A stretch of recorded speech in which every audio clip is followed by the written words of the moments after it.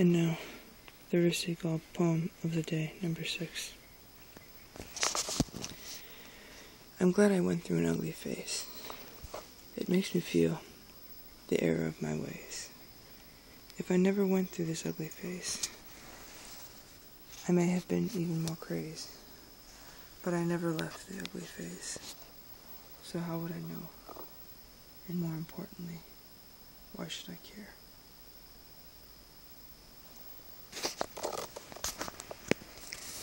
This has been the Rusical Poem of the Day.